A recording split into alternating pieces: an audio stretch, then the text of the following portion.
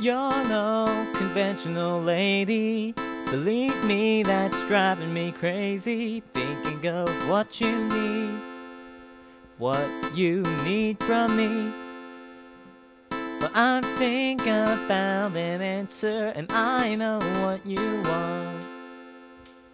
You want a Mongol man. That much I can do, I can, and I can protein for you. okay, maybe not, but I can do the next best thing, and I can be your Genghis Khan,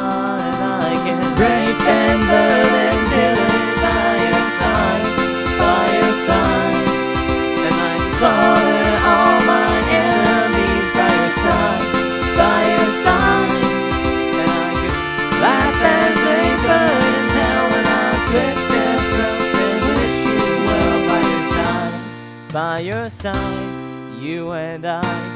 You belong with your Genghis Khan.